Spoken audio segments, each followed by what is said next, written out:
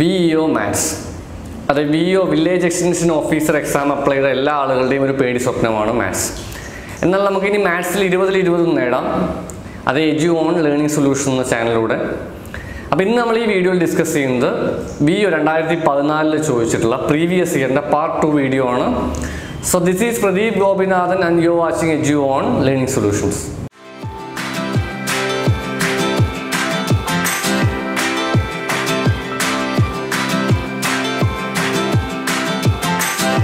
so my friends അപ്പം നമ്മൾ വീഡിയോയുടെ വി ഒ എക്സാമിന്റെ പാർട്ട് ടു വീഡിയോ ആണ് പാർട്ട് വൺ എന്ന് പറയുന്നത് വേറെ കുറച്ച് ജില്ലകളുടെ ചില ജില്ലകൾ നടന്നിട്ടുള്ള മലപ്പുറം അതുപോലെ നമ്മുടെ ആലപ്പുഴ ജില്ലകളിൽ നടന്നിട്ടുള്ള വി ഒയുടെ എക്സാം ആയിരുന്നു. അപ്പം ഇന്ന് നമ്മൾ ഡിസ്കസ് ചെയ്യുന്നത് വി ഒ പാർട്ട് ടു എന്ന് പറയുന്നത് കോഴിക്കോട് പാലക്കാട് അതുപോലെ എറണാകുളം ജില്ലകളിലുള്ള ക്വസ്റ്റനാണ് ക്വസ്റ്റൻ നമ്പർ വൺ ഇതാണ് ഒരു ചരട് മടക്കി സമചതുരത്തിലാക്കിയപ്പോൾ പരപ്പളവ് മുപ്പത്തി ആറ് ചതുരശ്ര മീറ്റർ എങ്കിൽ ചരടിന്റെ നീളം എത്രയെന്നാണ് ചോദിച്ചിരിക്കുന്നത്. അപ്പോൾ കുറച്ച് ഒരു കൺഫ്യൂഷൻ ആവുന്ന രീതിയിൽ കുറച്ച് കാര്യങ്ങളുണ്ട്. എന്തുണ്ട്? പരപ്പളവ് കാണുന്നുണ്ട്. ചരടിന്റെ നീളം ചോദിച്ചിട്ടുണ്ട്. ഇത് വളരെ എളുപ്പമാണ്. നിങ്ങൾ ആദ്യം മനസ്സിലാക്കേണ്ട ഒരു ചരടിന്റെ അല്ലെങ്കിൽ ഒരു പരപ്പളവ് എന്നുള്ളൊരു ടെക്നിക്കൽ ടേമിൽ അവിടെ ഉപയോഗിച്ച്? പരപ്പളവ് എന്ന് പറഞ്ഞാൽ വിസ്തീർണമാണ്. നമ്മൾ ഈ ടച്ച് ചെയ്യുന്ന കാണുന്ന അതൊരു ചതുരമാണ് എന്നുണ്ടെങ്കിൽ ഇതിലെ വിസ്തീർണം ഏരിയയ്ക്ക് പറയുന്ന പേരാണ് പരപ്പളവ് എന്ന് പറയുന്നത്. അല്ലെ ഈ ഒരു ഭാഗം ഏരിയ എന്നുള്ളത്. ഈ ചുറ്റും കാണില്ലേ ഈ കോർണേഴ്സ് നിങ്ങൾക്ക് കാണാം. കോർണേഴ്സ് എന്ന് പറഞ്ഞാൽ അതിന്റെ വക്കുകൾ മൊത്തം കൂട്ടിക്കഴിഞ്ഞാൽ നമുക്ക് എന്തായി? ചുറ്റളവ് ചുറ്റുമുള്ള അളവാണ് ചുറ്റളവ്. അപ്പോൾ ഇത് തന്നിരിക്കുന്നത് എന്താണ്? കാണിച്ചിരിക്കുന്നത് ക്വസ്റ്റിനിൽ തന്നിരിക്കുന്നത് ഒരു ചരട് മടക്കാണ് സമചതുരത്തിലാക്കിയപ്പോൾ പരപ്പളവ്. ചരടിന്റെ നീളം ചോദിച്ചിരിക്കുകയാണ്. അപ്പോൾ ഞാനൊരു ഡെമോ കാണിച്ചു തരാം. ഡെമോ കണ്ടാൽ നിങ്ങൾക്ക് കാര്യങ്ങൾ വ്യക്തമായിട്ട് മനസ്സിലാവും. ഇത്രേ ഉള്ളൂ. ഇപ്പോൾ ഒരു ചതുരം ഉണ്ടെന്ന് വിചാരിക്കുക. എങ്ങനെ ചതുരം ക്രിയേറ്റ് ചെയ്തിരിക്കുന്നത്? ഇവരൊരു നൂൽ അല്ലേ? നൂൽ വെച്ചിട്ട് ഇങ്ങനെയാണ് ഈ ഒരു ചതുരം. ഇപ്പോൾ നമുക്ക് സമചതുര രൂപത്തിൽ ഇവിടെ കാണാം. നമുക്ക് സ്ക്രീനിൽ ഇവിടെ കാണാം. ഇപ്പോൾ ഇങ്ങനെ ഒരു ചതുരം ഉണ്ട് അത് എങ്ങനെ ക്രിയേറ്റ് ചെയ്തിരിക്കുന്നത്? ഈ നൂൽ ഇങ്ങനെ ചുറ്റി കഴിഞ്ഞപ്പോഴാണ് ഇവിടെ ഇങ്ങനെ ഒരു ചതുരം ഫോം ചെയ്തത് അല്ലേ? നൂലൊരു ചതുര രൂപത്തിൽ കാണാം. അപ്പോൾ ഇങ്ങനെ സമചതുരമാക്കി അപ്പോൾ ഈ സമചതുരത്തിന്റെ ഏരിയ തന്നിട്ടുണ്ട്. ഏരിയ തന്നിട്ട് നമ്മോട് ചോദിച്ചത് എന്താണ് ഈ ഒരു നൂലിന്റെ നീളം ചോദിച്ചിട്ടുണ്ടെങ്കിൽ നമുക്ക് വളരെ എളുപ്പത്തിൽ ചെയ്യാം. ഇത്രയേ ഉള്ളൂ. നമുക്ക് ഇവിടെ ഏരിയ ഉണ്ട്. ഏരിയ എന്ന് പറഞ്ഞാൽ എന്താണ്? സമചതുരത്തിന്റെ ഏരിയ നമ്മൾ ചെറിയ ക്ലാസ്സുകളിലൊക്കെ പഠിച്ചാണ് നീളം ഗുണം വീതിയാണ്. അല്ലെങ്കിൽ നമുക്ക് നീളം വീതി തുല്യമല്ലേ? സമചതുരം എന്ന് പറയുമ്പോൾ. നീളമുണ്ട് വീതിയുണ്ട്. ഈ നീളവും വീതിയും തുല്യമാണ് സമചിത്രത്തിന്റെ കേസിൽ. അപ്പോൾ ഇത് ആലോചിച്ച് നോക്കി ഇത് മൊത്തം നൂലാണ് കേട്ടോ ഇങ്ങനെ ഒരു നൂൽ വന്നിട്ട് ഇവിടെ ചുറ്റി തിരിച്ച് ഇവിടെ വെച്ചു അല്ലേ ഇവിടെ തുടങ്ങിയ നൂൽ എൻഡ് ചെയ്ത് വെച്ചപ്പോഴാണ് നമുക്ക് എന്താണ് ഒരു ആയത് ചരടിന്റെ നീളം ശരിക്കും ഒന്ന് ആലോചിച്ച് നോക്കിയാൽ ചുറ്റുമുള്ള ഈ അളവല്ലേ ചുറ്റളവെന്നല്ലേ നമ്മുടെ ചരടിന്റെ നീളം. അപ്പം ചുറ്റളവ് കണ്ടുപിടിച്ച് കഴിഞ്ഞാൽ നമുക്ക് എന്തായി ആൻസർ നൂലിന്റെ നീളം എന്ന് പറഞ്ഞാൽ ചുറ്റുമുള്ള അളവ്. നമുക്ക് തന്നിരിക്കുന്ന എന്താണ്? ഇതിന്റെ ഉള്ളിലുള്ള അളവ് അല്ലെ ഉള്ളളവ് അല്ലെങ്കിൽ നമ്മൾ എന്ത് പറയും? പരപ്പളവ് എന്ന് പറയും. ഏരിയ വിസ്തീർണം എന്ന് പറയുന്നത് എന്താ തന്നിരിക്കുന്നത് തേർട്ടി സിക്സ് എന്ന് പറയുന്നത്. ഇതിന്റെ ഉള്ളിലുള്ള അളവ് അല്ലേ? ഈ തേർട്ടി സിക്സ് എന്ന് പറയുന്നത് എന്താ ശരിക്കും? നീളം ഗുണം വീതിയാണ്. ഇവിടെ നീളം വീതി ഈക്വൽ ആയതുകൊണ്ട് നമുക്കൊരു വാല്യൂ എന്തെങ്കിലും കൊടുക്കാം. എ എന്ന് കൊടുക്കാം നീളത്തിനും വീതിക്കും. ഒരേ വാല്യൂ അല്ലേ സംബന്ധിച്ചത് എന്ന് പറയും. ബേ സ്ക്വയർ ആണ് തേർട്ടി സിക്സ് അല്ലേ? അതായത് നീളം ഗുണം വീതി തന്നെയാണ് എ ഇന്റു അല്ലെങ്കിൽ എ സ്ക്വയർ ജസ്റ്റ് മനസ്സിലാക്കി വെക്കുക. മുപ്പത്തി ആറാണെങ്കിൽ ഇതിന്റെ നീളവും വീതിയും തുല്യമാണ്. ആറായിരിക്കും ഇതിന്റെ നീളവും അതുപോലെ വീതിയും വരിക. ഓക്കെ അല്ലേ? അപ്പൊ ആറാണ് നീളവും വീതി ഉണ്ടെങ്കിൽ ചുറ്റളവ് കണ്ടുപിടിക്കാമെന്നില്ല ചുറ്റുള്ളതെല്ലാം കൂട്ടിയാൽ മതി. ആറ് പ്ലസ് ആറ് പ്ലസ് ആറ് പ്ലസ് ആറ്. എല്ലാ ആറും കൂടി കൂട്ടിയാൽ എന്തായി? നാല് ആറ് ഉണ്ട് ഫോർ ഇന്റു സിക്സ് എന്ത് വരും? ട്വന്റി ഫോർ ആയിരിക്കും. ആൻസർ വരിക. നൂലിന്റെ നീളം എന്തുണ്ട്? ട്വന്റി ഫോർ ആണ്. എന്തുകൊണ്ടാണ്? നൂൽ ഇവിടെ നിന്ന് തുടങ്ങി. അല്ലെ നമ്മൾ ഇവിടെ വെച്ചു. തിരിച്ച് ഇങ്ങോട്ട് വെച്ച് നൂൽ ഇവിടെ വെച്ചു. ഇതാണ്. അപ്പം നൂലിന്റെ നീളം എന്ന് പറഞ്ഞാൽ ചുറ്റളവാണ്. ചുറ്റളവ് കണ്ടുപിടിച്ചാൽ മതി. ചുറ്റളവ് എന്ന് പറഞ്ഞാൽ എല്ലാം കൂടി കൂട്ടുക ചുറ്റുമുള്ള അളവ് കൂട്ടിയ ചുറ്റളവായി. So a square thirty six ഉണ്ട്. എ സ്ക്വയർ എന്ന് പറഞ്ഞാൽ വിസ്തീർണം വന്നിട്ടുണ്ട് മുപ്പത്തി ആറ് മുപ്പത്തി ആറ് കിട്ടിയാൽ ഒരു വശം കിട്ടി ഒരു വശം കിട്ടിയ ചുറ്റളവ് ഇരുപത്തി നാല് വരും. വീഡിയോ ഒന്നുകൂടി വേണമെങ്കിൽ ഒന്ന് റിവൈസ് ചെയ്ത് കണ്ടു നോക്കാം. നെക്സ്റ്റ് ക്വസ്റ്റിലേക്ക് പോകാം so my dear friends next question ഇതാണ്. കൂട്ടത്തിൽ പെടാത്തത് ഏത്? ചോദ്യത്തിൽ മൂന്ന് ഓപ്ഷൻ അല്ലെങ്കിൽ നാല് ഓപ്ഷൻ ഉണ്ട്. Odd one ഔട്ടാണ് cube root of thirty seven cube root of sixty four cube root of four four eight cube root of two one six അപ്പോൾ എന്തിനാണ് ഞാൻ രണ്ടാമത്തെ ക്വസ്റ്റ്യൻ കാണിച്ചതെന്ന് വെച്ചാൽ പല ആളുകൾ നമ്മൾ വി ഒക്കെ പഠിക്കുന്ന ആളുകൾ ബേസിക് ലെവലിൽ സ്റ്റാർട്ട് ചെയ്യായിരിക്കും. അപ്പോൾ നിങ്ങൾ പഠിച്ചിരിക്കുന്നത് ഒരു ഒന്ന് മുതൽ ഒരു പതിനഞ്ച് വരെയുള്ള സ്ക്വയർ പഠിച്ചിരിക്കുക വർഗങ്ങൾ അല്ലെ? ഒന്നിന്റെ സ്ക്വയർ ഒന്ന്. നാല് നാല് പതിനാല് എട്ടെട്ട് അറുപത്തിനാല് ഒരു പതിനഞ്ച് വരെ സ്ക്വയർ പഠിച്ചു വയ്ക്കുക ക്യൂബും പഠിച്ചു വെച്ചാൽ ഈസിയാണ് ക്യൂബ് എത്ര വരെ പഠിക്കണം? ഒരു ഒന്ന് മുതൽ പത്ത് വരെ ക്യൂബ് പഠിച്ചു വെക്കുക. വൺ ടു ടെൻ വരെ ക്യൂബ് പഠിച്ചു കഴിഞ്ഞാൽ ഈ ക്വസ്റ്റിന് ഈസി ആയിരിക്കും. അപ്പോൾ ബേസിക് നിങ്ങൾ മാത്സ് തുടങ്ങുന്ന ആളുകൾ ക്യൂബ് പഠിച്ചു വെക്കുക. ഒന്നിന്റെ ക്യൂബ് ഒന്ന് രണ്ട് എട്ട് മൂന്ന് ഇരുപത്തേഴ് നാല് അറുപത്തിനാലിന് പഠിച്ചാൽ ഇത് നോക്കിയിട്ട് തന്നെ ആൻസർ പറയാം. എന്താണ്? ഇരുപത്തേഴ് എന്ന് പറയുന്നത് മൂന്നിന്റെ ക്യൂബാണ് മൂന്നിന്റെ ക്യൂബാണ് ഇരുപത്തേഴിലേക്ക് ക്യൂബ് റൂട്ട് എടുത്തു കഴിഞ്ഞാൽ എന്തായിരിക്കും? ക്യൂബ് റൂട്ട് എന്ന് പറഞ്ഞാൽ എന്തോ സംഖ്യയുടെ ക്യൂബാണ് അപ്പോൾ ഇത് മൂന്നായിരിക്കും ഉത്തരം വരിക. ഇതുകൊണ്ട് അറുപത്തിനാല് നാലായിരിക്കും. നാനൂറ്റി നാൽപ്പത്തെട്ട് കൊണ്ട് ഇരുന്നൂറ്റി പതിനാറുണ്ട് ശരിക്കും നോക്കിയാൽ മനസ്സിലാവും ആറിന്റെ ക്യൂബാണ് ഇരുന്നൂറ്റി പതിനാറ്. നാനൂറ്റി നാൽപ്പത്തെട്ട് എന്ന് പറഞ്ഞാൽ എന്ത് പറയാം? നമുക്കങ്ങനെ ക്യൂബുള്ള സംഖ്യയല്ല. സ്ക്വയർ ഇല്ല സ്ക്വയർ അല്ല ക്യൂബുള്ള സംഖ്യകൾ അല്ലേ? ബാക്കിയുള്ള എല്ലാം നോക്കി ഇവിടെ നാലുണ്ട് ആറുണ്ട് മൂന്നിന്റെ ക്യൂബാണ് നാനൂറ്റി നാൽപ്പത്തെട്ട് സംഖ്യയുടെ ക്യൂബ് അല്ലാത്തതുകൊണ്ട് തന്നെ നമുക്ക് എന്ത് പറയാം? ഒറ്റ ഒറ്റയാണ് കണ്ടുപിടിക്കാനുള്ള ആൻസർ നാനൂറ്റി നാൽപ്പത്തെട്ടാണ് അപ്പോൾ നിങ്ങൾ പഠിച്ചു വെക്കുക വൺ ടു ടെൻ ക്യൂബ് പഠിച്ചു വെക്കുക വൺ ടു ഒരു ഫിഫ്റ്റീൻ വരെ. മിനിമം ഫിഫ്റ്റീൻ വരെ. അതിന്റെ അപ്പുറം പഠിക്കാം. ട്വന്റി ഒക്കെ പഠിക്കാം. ഇപ്പോൾ സ്റ്റാർട്ടിങ് ആണെങ്കിൽ പതിനഞ്ച് ഇരുപത് വരെയുള്ളതൊക്കെ പഠിച്ചു വെക്കുക. സോ നെക്സ്റ്റ് ക്വസ്റ്റിലേക്ക് പോകും so my friends next question നിങ്ങൾ പല ആളുകളും ചോദിക്കാറുണ്ട്. സാധാരണ പലിശ സിമ്പിൾ ഇൻട്രസ്റ്റിന്റെ ക്വസ്റ്റ്യൻ ആണ്. രണ്ടായിരത്തി അഞ്ഞൂറ് രൂപയ്ക്ക് എട്ട് ശതമാനം നിരക്കിൽ രണ്ട് വർഷത്തേക്കുള്ള സാധാരണ പലിശ സിമ്പിൾ ഇൻട്രസ്റ്റ് കണ്ടുപിടിക്കാനാണ്. അപ്പോൾ എന്ത് ചെയ്യും? Simple interest I is equal to P N R by hundred equation ഒന്നും പഠിക്കണ്ട. നിങ്ങൾ ആകെ മനസ്സിലാക്കേണ്ട നമ്മളൊരു പെർസെന്റേജിന്റെ വീഡിയോ കണ്ട ആളുകൾക്ക് ഇതൊക്കെ വളരെ ഈസി ആയിരിക്കും. നിങ്ങൾ ഈ ബട്ടൺ ക്ലിക്ക് ചെയ്ത് കണ്ടു നോക്കുക. അതിനുശേഷം പെർസെന്റേജിന്റെ വീഡിയോ ഓൾറെഡി കണ്ട ആളുകളാണെങ്കിൽ മനസ്സിലാക്കേണ്ട കാര്യം എന്ന് വെച്ചാൽ നിങ്ങളിപ്പോൾ രണ്ടായിരത്തി അഞ്ഞൂറ് രൂപയാണ് ഇവിടെ ഉള്ളത്. രണ്ടായിരത്തി അഞ്ഞൂറുണ്ട് എന്താ കാണുന്നത് ഫസ്റ്റ് എന്താണ്? എട്ട് ശതമാനം അല്ലേ കാണുന്നത്. അപ്പോൾ എത്ര ശതമാനം എന്നുള്ളത് നേരെ എഴുതി വയ്ക്കുക വളരെ എളുപ്പമാണ്. എട്ട് ശതമാനമാണെങ്കിൽ ആദ്യം എട്ട് ശതമാനം കണ്ടുവയ്ക്കുക എട്ട് ശതമാനം എത്രയാണ് വരിക? ഇതല്ലേ നൂറ് ശതമാനം രണ്ടായിരത്തി അഞ്ഞൂറ് ഇരുന്നൂറ്റി അമ്പത് എന്ന് പറയുന്നത് പത്ത് ശതമാനമാണ്. അപ്പോൾ ഇരുപത്തി അഞ്ച് രണ്ട് പോയിന്റ് കൊടുത്തു കഴിഞ്ഞാൽ ഇരുപത്തഞ്ചാണ് ഒരു ശതമാനം. ഇരുപത്തി അഞ്ച് ഒരു ശതമാനമാണ് ഇരുപത്തി അഞ്ച് ഇന്റു എട്ടായിരിക്കും എട്ട് ശതമാനം. ഇപ്പം എത്ര വരും ഇരുപത്തി അഞ്ച് ഇന്റു എട്ട് എന്ന് പറഞ്ഞാൽ എത്ര വരും?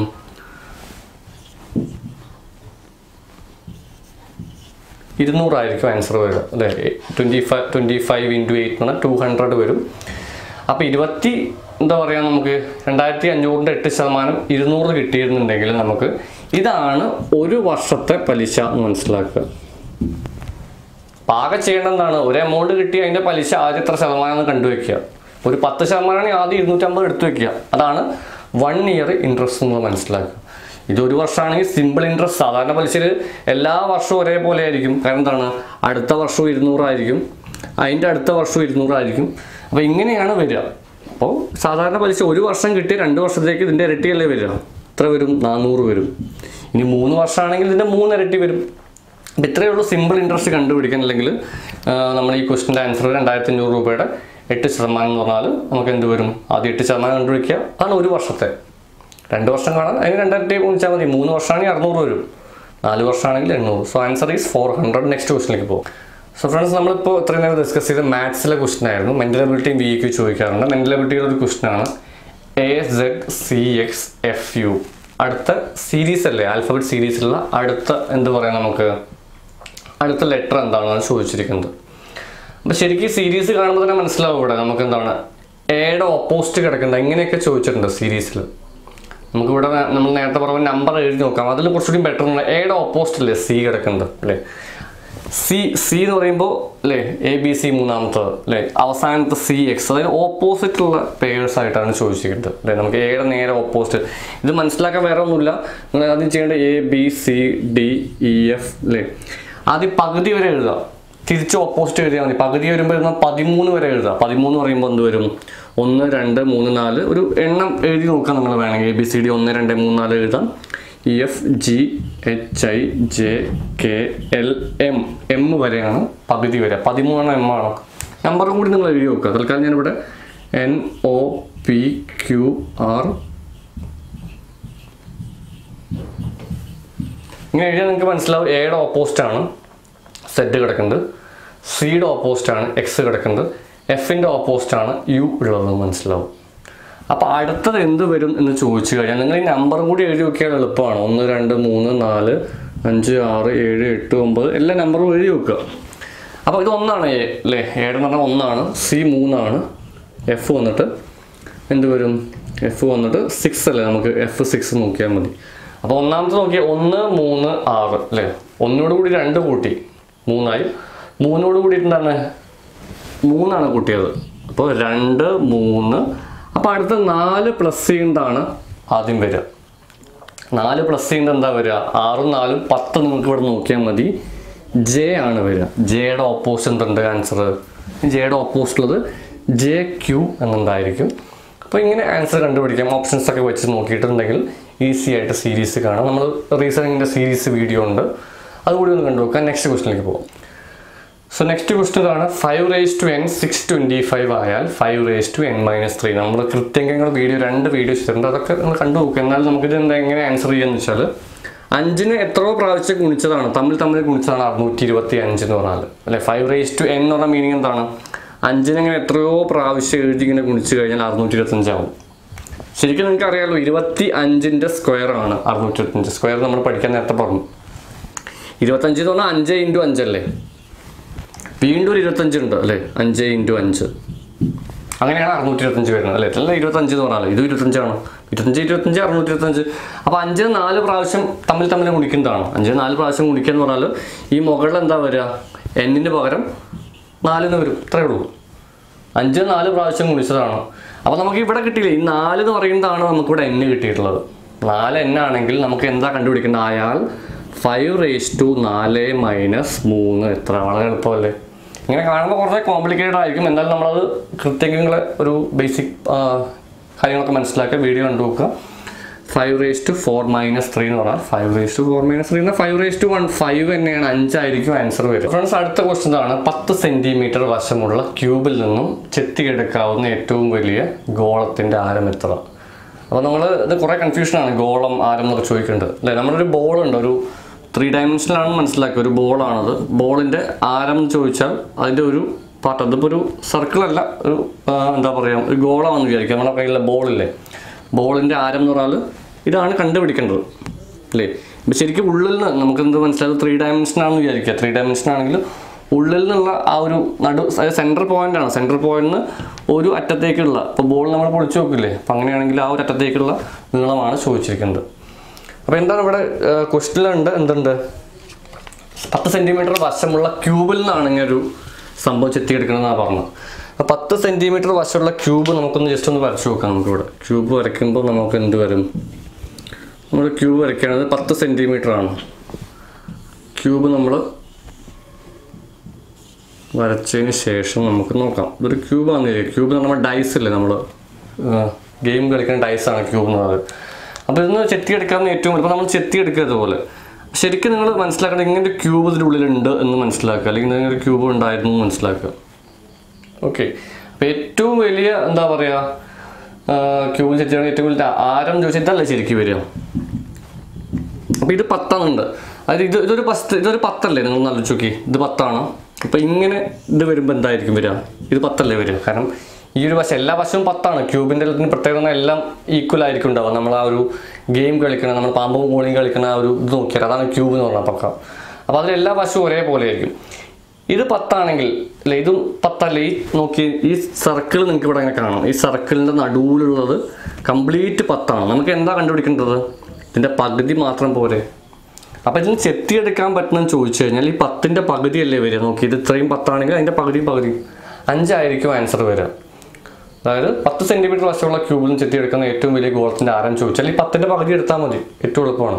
ഇനിയിപ്പോൾ ഇരുപത് സെന്റിമീറ്റർ നീളമുള്ള ക്യൂബിൽ ചെത്തിയെടുക്കാവുന്ന ഗോളത്തിന്റെ ഏറ്റവും വലിയ ഗോളത്തിന്റെ ആരം ചോദിച്ചാൽ ഇരുപതിന്റെ പകുതി എടുത്താൽ മതി. സോ ആൻസർ ഈസ് ഫൈവ് വരും പത്തിന്റെ പകുതി അഞ്ചാണ്. ഒന്നുകൂടി വീഡിയോ കണ്ടു നോക്കുക മനസ്സിലാക്കുക. സോ നെക്സ്റ്റ് ക്വസ്റ്റിലേക്ക് പോകാം സോ ഫ്രണ്ട്സ് നെക്സ്റ്റ് ക്വസ്റ്റ്യൻ ഇതാണ്. നമുക്ക് ചെയ്യാം. അതിന് മുന്നേ നിങ്ങൾ മനസ്സിലാക്കണം. കാരണം ബി യുടെ എക്സാംസിന് പ്രീവിയസ് ഒക്കെ ചോദിച്ച ക്വസ്റ്റ്യൻ ഒരു നോർമൽ സാധാരണക്കാരന് ചെയ്യാവുന്ന രീതിയിലുള്ള ക്വസ്റ്റ്യൻസ് ആണ്. എന്തുകൊണ്ടാണ് വെച്ചാൽ ഈ ഒരു ക്വസ്റ്റ്യൻ വായിച്ചാൽ നിങ്ങൾക്ക് മനസ്സിലാവും. മുപ്പത്തിയാറ് ലിറ്റർ റബ്ബർ പാൽ ഷീറ്റ് ആക്കുന്നതിന് വേണ്ടി രണ്ടര ലിറ്റർ വീതം കൊള്ളുന്ന പാത്രത്തിൽ നിറച്ചാൽ എത്ര ലിറ്റർ ബാക്കിയാവുന്ന ചോദിച്ചു അതായത് ഒരാളുടെ വീട്ടിൽ അല്ലെ ഒരാളുടെ കയ്യിൽ എന്തുണ്ട്? മുപ്പത്തി ആറ് ലിറ്റർ റബ്ബർ റബ്ബർ പാൽ ഇയാൾക്ക് കിട്ടി. ഇയാളുടെ കയ്യിലുള്ള കപ്പ് എന്ന് വെച്ചാൽ രണ്ട് ലിറ്ററിന്റെ ഒരു കപ്പാണ് ഈ ഒരു ഓരോ കപ്പിൽ നിന്നാണ് ഇയാൾ പുള്ളിക്കാരൻ റബ്ബർ ഷീറ്റ് ആക്കുന്നത്. അപ്പോൾ ഓരോ കപ്പിൽ കൊള്ളുന്ന അളവ് രണ്ട് ലിറ്റർ ആണ് അപ്പോൾ രണ്ട് ലിറ്റർ എടുത്തിട്ടാണ് ഷീറ്റ് ആക്കുന്നത്. അപ്പോൾ എത്ര രണ്ടര ലിറ്റർ ഇങ്ങനെ എടുത്ത് മാറ്റി വെച്ചിട്ടുണ്ടെങ്കിൽ ഈ മുപ്പത്താറിൽ ബാക്കി എത്ര ഉണ്ടാവുമെന്ന് ചോദിച്ചു അപ്പോൾ മുപ്പത്താറിൽ രണ്ടര എടുക്കാമെന്ന് വിചാരിക്കാം. ഫസ്റ്റ് വൺ മുപ്പത്താറിൽ രണ്ടര എടുക്കുമ്പോൾ ഏകദേശം നമുക്ക് എന്ത് വരും? മുപ്പത്താറിൽ രണ്ടര കുറയുമല്ലോ. പിന്നെ വാല്യൂ വീണ്ടും രണ്ടര കുറയും. അപ്പോൾ എത്ര എടുത്തു കഴിഞ്ഞാൽ ബാക്കി എത്ര ഉണ്ടാവും ചോദിച്ചു കഴിഞ്ഞാൽ നമുക്ക് ഏകദേശം രണ്ടര ലിറ്റർ അല്ലേ? ഒരു മുപ്പത്തി ആറ് ആണ് മൊത്തം അയാൾക്ക് കിട്ടിയ പാലുള്ളത്. രണ്ടര ലിറ്റർ ഉണ്ട് ഒരു കപ്പിലുണ്ട് ഒരു കപ്പിൽ രണ്ട് ലിറ്റർ ഉണ്ട്. ഏകദേശം ഒരു പത്ത് കപ്പ് എടുത്തു കഴിഞ്ഞാൽ നമുക്കൊരു ഇരുപത്തി അഞ്ച് എണ്ണം അല്ലെ അല്ലെങ്കിൽ ഇരുപത്തി അഞ്ച് ലിറ്ററോളം നമുക്ക് എന്തായി ഷീറ്റായി മാറി. നമുക്ക് ഏകദേശം ഒരു പന്ത്രണ്ട് കപ്പ് ഒന്ന് എടുത്ത് നോക്കാം നമുക്ക്. രണ്ട് പോയിന്റ് അഞ്ച് ഇന്റു പന്ത്രണ്ട് എന്ന് വരുമ്പോൾ മൾട്ടിപ്ലൈ ചെയ്ത് നോക്കുക നിങ്ങൾക്ക് ആൻസർ വരും. മുപ്പത് കപ്പ് അല്ലെങ്കിൽ മുപ്പത് കപ്പല്ല മുപ്പത് ലിറ്റർ തീർന്നു. മുപ്പത്താറിൽ മുപ്പത് തീർന്നു. അപ്പോൾ ശരിക്കും നമുക്ക് ഇങ്ങനെ ഓപ്ഷൻ വെച്ച് പോകണേ അല്ലെങ്കിൽ ഇക്വേഷൻ പോലെ ഓപ്ഷൻ വെച്ച് പോകണം എന്നുള്ളത് ഇങ്ങനെ ചെയ്ത് നോക്കാം നമുക്ക്. ഇപ്പോൾ രണ്ടര ലിറ്ററിന്റെ നമുക്ക് എന്ത് ചെയ്യാ വെച്ചാൽ ഒരു പതിനാല് കപ്പ് ഇയാൾ ഷീറ്റ് ആക്കുമ്പോഴാണ് ഏകദേശം ഒരു മുപ്പത്തി ആറിന്റെ അടുത്ത് മുപ്പത്തി അഞ്ച് വരെ വന്നില്ലേ? കാരണം എന്താണ് എന്തായാലും ബാക്കിയാവുന്ന ഉറപ്പാണ്. കാരണം മുപ്പത്തി ആറും രണ്ടര വെച്ചിട്ട് കപ്പ് എടുത്തു കഴിഞ്ഞാൽ എന്തായാലും ബാക്കിയാവും എന്നുള്ളത് കൊണ്ടാണ് ക്വസ്റ്റിനിൽ ഒരു എത്ര ലിറ്റർ ബാക്കിയാവും എന്ന് ചോദിച്ചിരിക്കുന്നത്. അപ്പോൾ നമുക്കിവിടെ രണ്ടര ലിറ്ററിന്റെ പതിനാല് കപ്പ് എടുത്താൽ മുപ്പത്തി അഞ്ച് ലിറ്ററോളം നമ്മൾ എന്തായി ഷീറ്റാക്കി മാറ്റി. ബാക്കി എന്തുണ്ട്? ഒരു ലിറ്റർ അല്ലേ ബാക്കിയുള്ളത് മുപ്പത്തി ആറിലേക്ക് അപ്പോൾ ആൻസർ എന്ത് വരും? വണ്ണിന് വരും. അപ്പോൾ ഇത്രയും ഈസിയാണ് നമ്മുടെ village extension officer normal daily ലൈഫിലുള്ള കാര്യങ്ങളൊക്കെയാണ് എക്സാമിന് ചോദിച്ചിട്ടുള്ളത്. അപ്പോൾ നിങ്ങൾ എന്താ വെച്ചാൽ വീഡിയോ ഒന്നുകൂടി റിവൈസ് ചെയ്ത് കൊണ്ട് കണ്ടു നോക്കുക. വീഡിയോ കാണാനൊപ്പം തന്നെ ഞാൻ എഴുതുമ്പോൾ തന്നെ നിങ്ങൾ പ്രാക്ടീസ് ചെയ്ത് നോക്കുക. നോട്ട്സ് പ്രിപ്പയർ ചെയ്ത് പഠിച്ചു തുടങ്ങുക. വി യു എക്സാംസിന് മാത്സൊക്കെ നമ്മൾ ഇനിയും വീഡിയോസ് പാർട്ട് ത്രീ എന്തായാലും വീഡിയോ ഉണ്ട്. അപ്പോൾ ഈ വീഡിയോനെ കുറിച്ചുള്ള ഒപ്പീനിയൻ എന്തായാലും നിങ്ങൾ കമന്റായിട്ട് പറയാം. നിങ്ങൾക്ക് ഈ വീഡിയോ ഇഷ്ടമായാൽ തീർച്ചയായിട്ടും ലൈക്ക് ചെയ്യുക. അതുപോലെ വീഡിയോ സബ്സ്ക്രൈബ് ചെയ്യാത്ത ആളുകൾ സബ്സ്ക്രൈബ് ചെയ്ത് കഴിഞ്ഞാൽ മാത്രമാണ് നെക്സ്റ്റ് വീഡിയോയുടെ വീഡിയോസിന്റെ അപ്ഡേറ്റ് അല്ലെങ്കിൽ നമ്മൾ പറയാം അപ്ലേ അപ്ലോഡ് ചെയ്യുമ്പോൾ നിങ്ങൾക്ക് വീഡിയോസ് കിട്ടുക. സോ അതുപോലെ നമ്മൾ എല്ലാ ജില്ലയിലും വൺ ഡേ ക്ലാസ് ഉണ്ട്. എഡ്യൂന്റെ വൺ ഡേ ക്ലാസ്സുകൾ താല്പര്യമുള്ള ആളുകൾ നിങ്ങൾ ഈ ബ്രോഡ്കാസ്റ്റ് നമ്പറിൽ നിങ്ങളുടെ പേരും ജില്ലയും മെസ്സേജ് അയക്കാം. പിന്നെന്താണ് നമ്മുടെ ഫേസ്ബുക്ക് പേജ് ലൈക്ക് ചെയ്താൽ ഫേസ്ബുക്കിലൂടെയും ക്ലാസ്സുകളും അതിന്റെ നോട്ടിഫിക്കേഷനും കാര്യങ്ങളൊക്കെ നിങ്ങൾക്ക് ലഭിക്കുന്നതാണ്. So friends be happy thank you for watching and see you later